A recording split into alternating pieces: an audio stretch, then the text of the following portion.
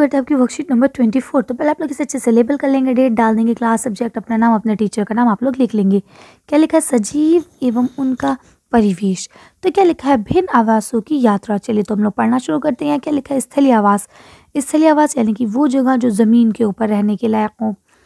वह पौधे एवं जंतु जो ज़मीन के ऊपर पाए जाते हैं, जैसे कि मरुस्थल यानी कि रेगिस्तान में पाए जाने वाले पर्वतीय क्षेत्र यानी कि जो पहाड़ी इलाकों में पाते हैं, पाए जाते हैं और घास के स्थान, घास का स्थान कहा जाता है जो प्लेन इस जगह पे पाए जाते हैं।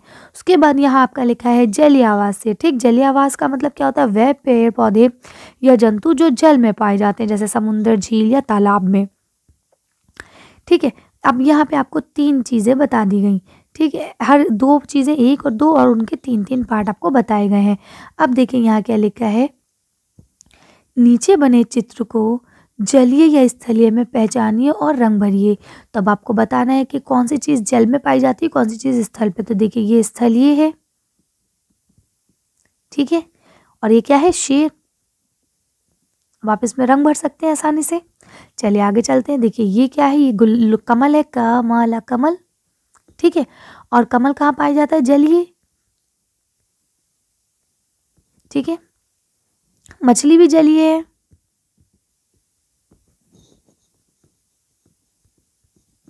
मछली। ठीक है ना? अब उसके बाद नीचे आ जाइए। ये क्या है? ये भी स्थलीय है। ठीक है? ऊँट। आसानी से लिख सकते हैं। चारों, बस यही आपको करने में, अब यहाँ जो लिखा है, इसको पढ़ लेते हैं एक बार। यहाँ क्या लिखा है? स्थलीय पौधों की अनुकूल विशेषता, यानी कि जो स्थलीय पौधे, यानी कि वो पौधे जो ज़मीन के ऊपर पाए जाते हैं, उनकी क्या विशेषता होती है कि ये अच्छी तरह से विकसित जड़ें होती हैं। यानी इनकी जो जड़ें होती है, वो बहुत फैली हुई होती है।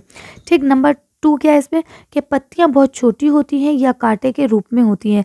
देखिए, अगर आप बात करेंगे प्लेन इलाकों में तो वहाँ पे जो आपकी पत्तियाँ होती हैं वो सिंपल पत्तियाँ होती हैं। लेकिन अगर आप रेगिस्तानी इलाकों में बात करेंगे तो वहाँ पे जो पत्तियाँ होती हैं वो कांटों के रूप में हो जाती हैं। ऐसा इसलिए होता है क्योंकि वहाँ उन पेड़ों को पानी कम मिलता है, ठीक है? तना हरा होता है या मसला हुआ होता है। यानी कि या तो ग्रीन कलर का होता है, अगर छोटे पौधे तो उनके आपने गुलाब का, इन सब का देखा होगा, तना जो है वो हरे रंग का ही रहता है। लेकिन अगर आप बात करें बड़े बड़े पेड़ों के, जैसे आम का, बरगद का तो इनका जो तना होता है, वो कत्थई कत्थई रंग का होता है ना, उसको कहते हैं मंसला अगला क्या लिखा है? तना एक मोमी परत से ढका हुआ होता है, जिस पौधे को जल संरक्षण में सहायता मिलती है, जैसे कि कैक्टस अब ये आपकी कैक्टस की बात कर रहे हैं तो कैक्टस में एक जो पौधा होता है, वो मोम जैसे आपने देखा होगा, अगर कैक्टस का पौधा, या आपने एलोवेरा का पौधा अगर देखा होगा तो उसमें आपने देखा होगा कि वो ऊपर से एक परत से ढका हुआ होता है, जिसकी वजह से क्या होता है, जिससे उसे जल से संरक्षण मिलता है, यानी जल जिससे वो जल से बच सके, ठीक है?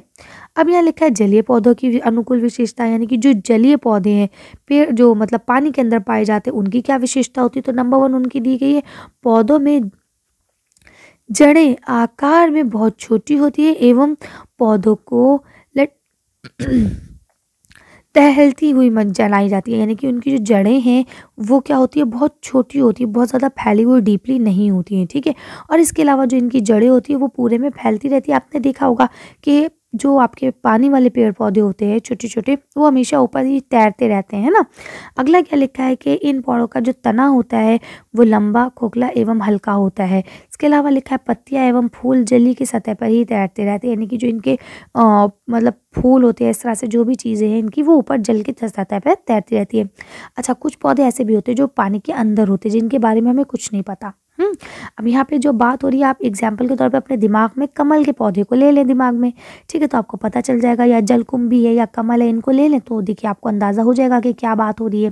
हम्म क्या लिखा है? पत्तियाँ मोमी परत से ढकी हुई होती हैं, जिससे जल से हानि ना हो सके, जैसे कि कमल। अब इनकी जो पत्तियाँ होती है, वो मोमी होती है। देखिए, अगर आप किसी पत्ती को पानी के अंदर ज़्यादा देर रखेंगे तो वो अजीब सी हो जाएगी गली गली सी। हम्म लेकिन कमल का फूल आपने देखा है, कभी गला गला सा हो, नहीं होता ना? इसी वजह से। चलिए तो आज की वर्कशीट को हम खत्म करते हैं। आज की वीडियो में बस इतने। अगर आपको मेरी वीडियो पसंद आई हो तो प्लीज़ लाइक और शेयर करें। अगर अभी तक आपने हमारे चैनल को सब्सक्राइब नहीं करा तो प्लीज़ मेरे चैनल को सब्सक्राइब करें। Thank you for watching